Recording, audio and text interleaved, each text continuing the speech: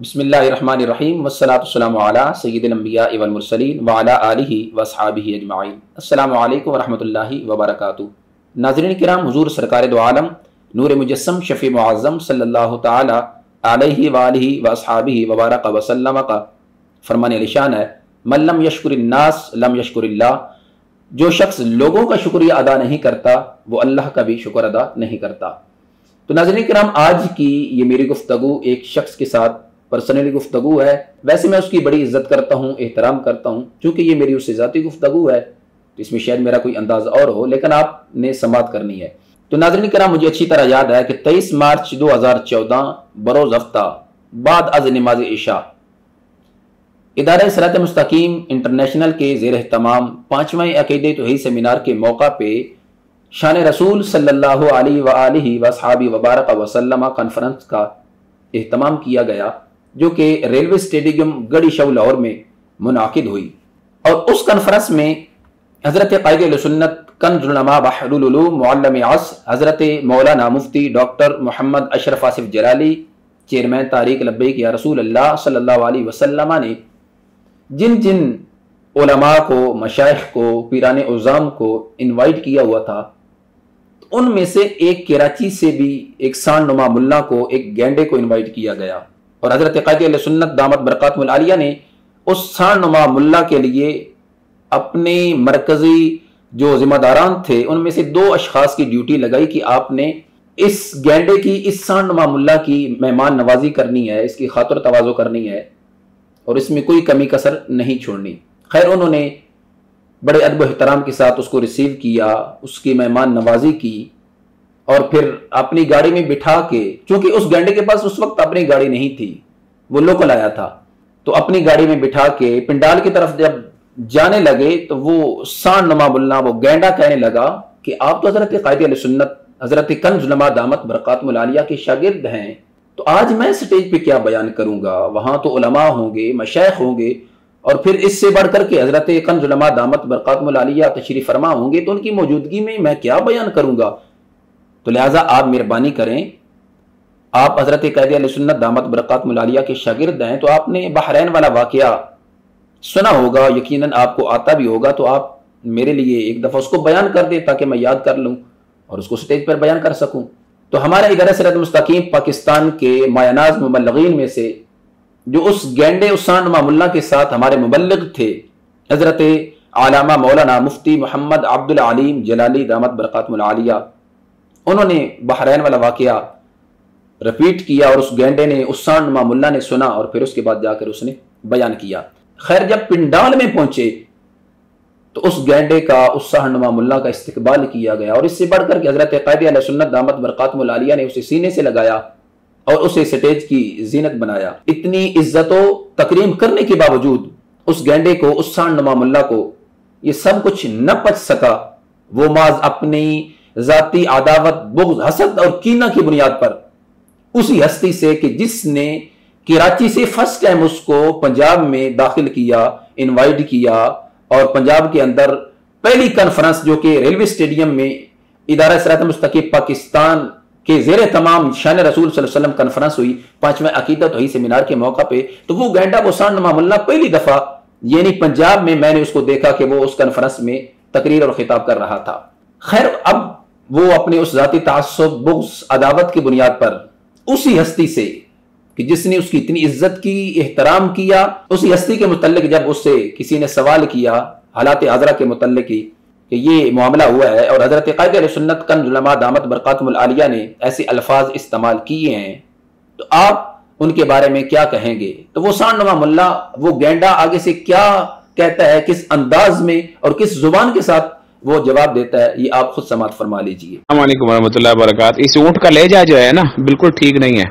तो आपको जो तकलीफ़ हुई है, वो तकलीफ़ मेरे को भी हुई है, मैंने आपका मैसेज नहीं सुना था। वैसे ही मैंने इसकी वीडियो भी अभी सुनी, आपने भेजी तो मुझे तकलीफ़ हुई। अल्लामा सुल्तान मदनी साहब, मुफ्ती हमजे साहब दीगर लोग बैठे हैं तो मेरे को वाकई बहुत दुख हुआ। हत सीधा जहरा पाक अलैहा की जो है, वो बात सुना रहा है लेकिन उनको डिग्रेड कर रहा है मतलब माज अल्लाह हते अबू बकर सिद्दीक रज़ी की जो है वो अजमत बयान करने का ये कौन सा तरीका है कि आप जो है ना वो नबी पाक सल्लल्लाहु अलैहि वसल्लम की बेटी की इज़्ज़त को कम करने की बात करें माजल्ला ठीक नहीं काम। नहीं आपने किबला को कहा है ना ये ऊँट के मुँह वाला जो है कि मैंने गुफ्तगु सुनी है। इस नहीं तरीके मैंने ऊँट के मुँह वाला नहीं कहा। वैसे लफ्ज ऊँट यूज़ किया है। हाँ तो लेकिन वो अपनी प्राइवेसी है उसको किसी के सामने तो बात करने की थी भी नहीं। नहीं तो आप ने लफ्ज यूज़ किया है ना वो? अरे नहीं बाबा जो आप किसी और पैराए में लेकर जा रहे हैं। तो जब किसी के लिए यूज़ करना हो जाए तो मैदान में किया जाता है ना। हमने तो किसी को बोला ही नहीं है। वो अंदाज ठीक नहीं था लेकिन वो मुझे ये यूज़ नहीं करना था ये लफ्ज और इसीलिए मैं पब्लिकली अलहमदुल्ला अब अपने लोगों की इज़्ज़त ही करता हूँ। वो हमारी प्राइवेट किससे बात थी तो उस बंदे ने शरारत की है। नहीं वो आपकी बात बिल्कुल सही है मैं आपसे तो ये ऐसी बात है नहीं। हम्म। कि जो किबला डॉक्टर साहब से आप ये इख्तलाफ कर रहे हैं डॉक्टर साहब का नाम भी नहीं लिया हमने डॉक्टर साहब से बात भी डॉक्टर साहब से मुतालिक भी की है।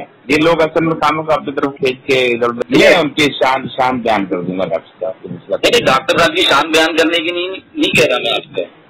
वो जो आप कहते हैं डॉक्टर साहब से हम करते हैं डॉक्टर साहब की इज़्ज़त करते हैं डॉक्टर साहब का एहतराम करते हैं। लेकिन हम पर्सनली जो है ना ज़रूरी नहीं है कि हम वो जो है वो कंजुल उलमा हज़रत एक कोई बात करते हैं तो जगह करते हैं लेकिन हमारी पर्सनल बात होती है। हैं वो तो अल्लाह ताला जिसको इज़्ज़त चाहे तो इज्जु मंतशा हुआ तो जिल्लु मंतशा।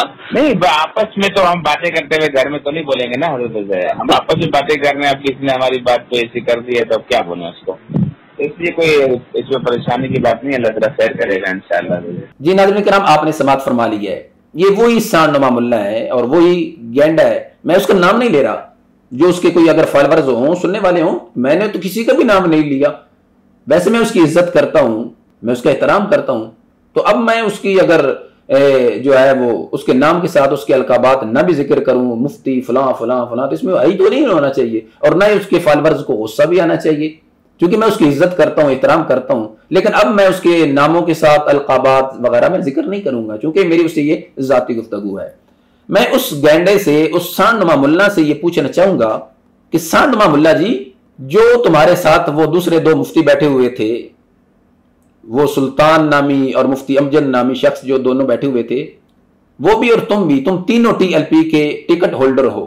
और तुम्हारी तीनों की जो तासुब पे मबनी गुफ्तगु और लगवियात थी, उससे ये बात बड़े ही वाजे और साफ़ अंदाज में पता चल रही थी कि जिस शख्स ने तुमसे पूछा एज ए रहनुमाई उसने पूछा, या जिस लिहाज से भी उसने पूछा, अगर तो तुम आलिम होते, तुम्हारे अंदर कुछ भी गैरत होती तो तुम जवाब देने का कोई सलीका इख्तियार करते, कोई अल्फाज का चुनाव इख्तियार करते और उसे उस अंदाज में, चूँकि एक मुतबाहिर अलमदीन के हवाला से पूछी जा रही थी तो तुमने इतनी लूज जो है वो गुफ्तगु की कि अब मैं अपनी ज़ुबान से तो अल्फाज नहीं निकालूँगा जो तुमने अपनी ज़ुबान से निकाले थे। लेकिन तुम्हें मैं इतना कहूँगा कि गेंडा और सांड मामला, जी, वैसे मैं तुम्हारी इज़्ज़त बड़ी करता हूँ, लेकिन अब नहीं करूँगा, चूँकि ये तुम्हारी और मेरी एक जाती गुफ्तगु है। तो मैं तुमसे ये पूछना चाहूँगा कि तुम्हारे उस अमीर टी एल पी के अमीर को जब खुदा कहा गया था तो उस वक्त तुम्हारी ये गैरत कहाँ थी? ये दीनी हमीयत कहाँ थी? और फिर उस पर तुम सबका खामोश हो जाना। गैर खुदा को खुदा कहा जा रहा है और ऐलान कहा जा रहा है। वो तुम्हारा, चाहे वो आज़म मुफ्ती हो, चाहे वो तुम हो, सारे के सारे खामोश तुम थे और आज तक खामोश हो। तो ये कौन सा तरीका है शरीयत का? कि किसी शख्स के बारे में पूछा जाए जिसका ना ही कलमा कुफरिया है, ना ही जिसकी कोई गुस्ताखी बनती है, उस पर तो तुम ये कहो कि मुझे बड़ा दुख हुआ है और मुझे बड़ी अजियत हुई है। ये कौन सा तरीका है? मैं ये आपसे पूछ सकता हूँ कि जब गैर खुदा को खुदा कहा जा रहा था और तुम सारे खामोश थे और अब तक खामोश हो तो ये कौन सा तरीका है? क्या ये जायज़ है? और फिर क्या मैं तुमसे ये भी पूछ सकता हूँ?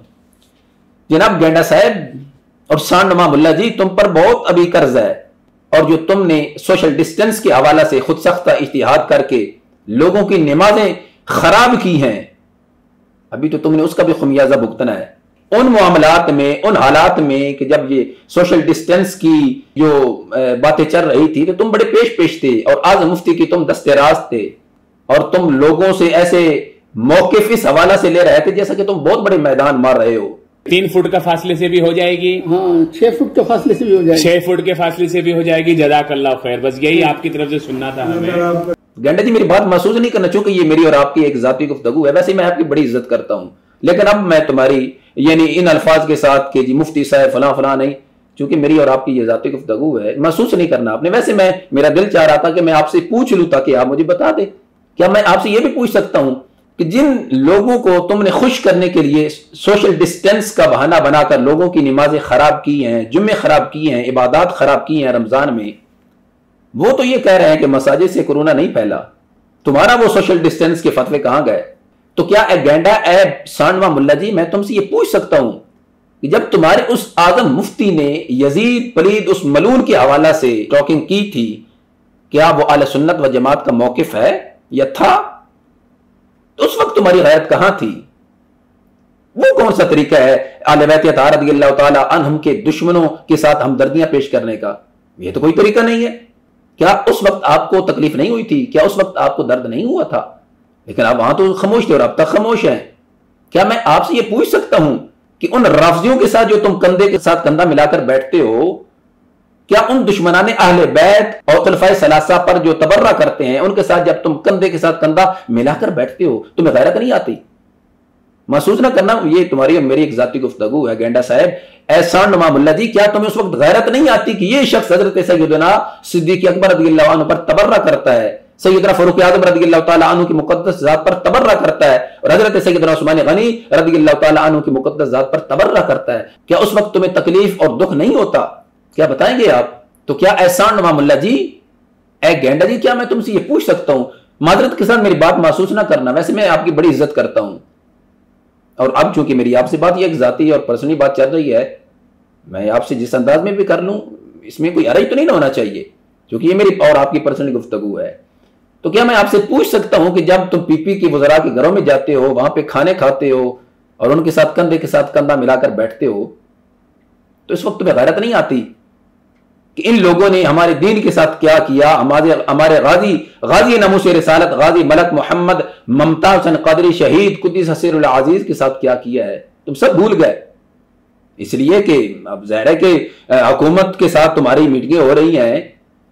तुम्हें इस बात पर थोड़ा फख्र है इंसान को गैरत आनी चाहिए कि एक शख्स जो मुखसन आल सुन्नत है, कि जिसने अकायद आल सुन्नत, नजरियाती आल सुन्नत का तहफ़ और दिफा किया है माज तुम अपनी ज़ाती इनात तासुब और बूझ की बुनियाद पर मुखालफत, बरए मुखालफत करते जा रहे हो। अगर तुम इतनी हिम्मत है तो जो उन्होंने अल्फाज बोले हैं, उस पर कोई शरी गिरफ्त करो, कोई हुक्म लगाओ और मैदान में आओ, दलील से बात करो। ये कौन सा तरीका है? ये तो कोई तरीका नहीं है। गेंडा जी सांडो मामला जी, ये कोई तरीका नहीं है। तुम्हारी इस गुफ्तगु से मुझे इंतहाई दुख हुआ है। लेकिन मेरी बातें महसूस ना करना, क्योंकि ये मेरी और आपकी पर्सनल गुफ्तगु थी। तो नाजरन कराम, आपने गुफ्तगु समात फरमाई है। जिस शख्स को मैं मुखातिब करके गुफ्तगु कर रहा था, अगरचे मैंने उसका नाम नहीं लिया, लेकिन आप में से अक्सर लोग समझ गए होंगे कि मेरा मुखातिब कौन था। नज़र कराम, ये वो एहसान फरामोश लोग हैं कि जिनको हज़रत कादिया सुन्नत दामत बरकतमलिया ने अपने स्टेजों पर बुलाया और इनकी इज़्ज़त की, इनका अदब किया और लोगों में इनका तारफ पेश किया। लेकिन जो ही इनका कुछ तारफ होता गया तो ये एहसान फरामोश, उसी शख्स, उसी मुहसिन, उसी मर्द कलंदर के खिलाफ ज़ुबान दराजियाँ शुरू कर दी हैं। माँ जाती तासुब, इनाज, बुग्ज की बुनियाद पर। हज़रत कैद सुन्नत दामत बरकतमलिया का इनके साथ कोई जाती झगड़ा नहीं है, कोई प्लाट का झगड़ा नहीं है। हज़रत कैद सुन्नत दामत बरकतमलिया ने तो आज तक किसी से जातियात की वजह से कोई बात नहीं की, ना वो करते हैं। लेकिन ये लोग इतने घटिया किस्म के लोग हैं और इस कदर एहसान, फरामोश लोग हैं कि जो अपने ही मुहसिन के एहसानात को भूल कर गैरों को खुश करने के लिए लगवियात बकते हैं, क्या से क्या कहते हैं। अब मैं मजीद इस पर गुफ्तु तो नहीं करूँगा, लेकिन अगर फिर कभी ऐसा मौका बना कि इस शख्स ने हज़रत कैद सुन्नत दामत बरकतमलिया के लिहाज से ऐसी गुफ्तगु की। फिर इन इसकी मैं खबर लूँगा।